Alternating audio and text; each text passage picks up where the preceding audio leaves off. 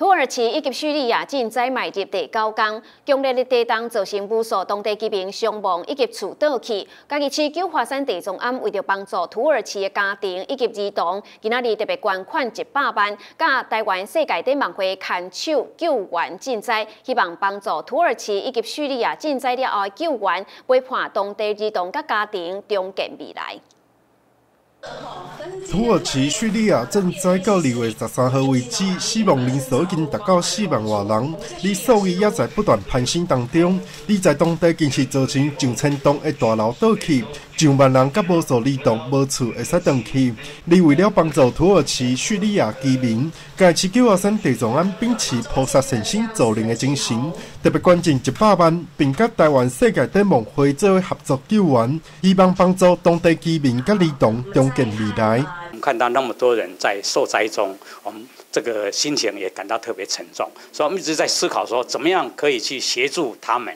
那么刚好在世界展望在家里有分会，他们是一个在世界上 NGO 组织里面非常非常有公信力的，而且特别强调是在做孩童的长期的重建跟心理辅导。所以我们就想说，那这一次是不是由地藏庵来带头来抛砖引玉？那透过世界展览会，把这个爱心送到土耳其、叙利亚去。那么，希望社会各界能够发挥大家的爱心，来共襄盛举。在呃灾后里面，我想第一阶段里面，我觉得就是救命哈，也就是提供了我们这种紧急的这种庇护，哦，让这个灾民能够有个安全的居住的场所。那因为现在当地哈是非常的严寒哈，所以我们也提供了一些基本的燃料哈，然后还有就是民生物资，好御寒的衣物哈，在第一时间能够让这些灾民能够保命哈。那接着就是七天之后。我展望会，我们也有做的这个短中长期的计划。哦。那在在短期的里面，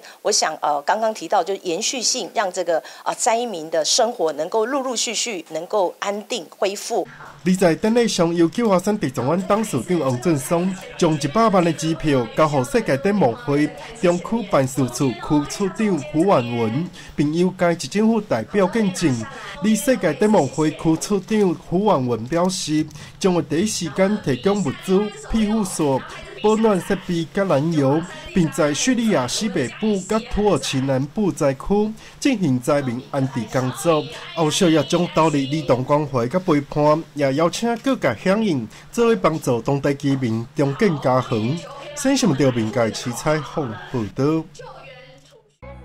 在家吃喝玩乐，探索世界，您准备好了吗？旺 TV YouTube 频道。带您网络漫游，深入嘉义最在地的美食，最及时的新闻，最感动人心的故事，只要滑动手指，全部完整呈现。现在订阅还有机会参加我们的抽奖小活动哦！马上拿起手机扫 QR code，一起加入我们吧！